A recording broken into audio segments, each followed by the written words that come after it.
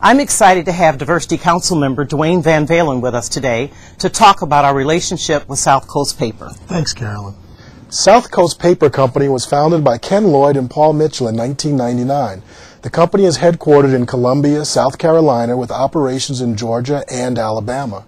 OfficeMax has had a successful growing relationship with South Coast for more than eight years.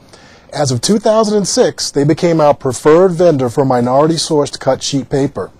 They started by offering one SKU to our contract customers and now offer envelopes, paper, and notepads as well. Today, the South Coast assortment encompasses 18 SKUs, which accounts for more than 3 million in annual revenue. It's resulted in a very beneficial relationship for both of us. That's a great example, Dwayne, of how our focus on supporting diverse suppliers contributes to our business and communities all across America.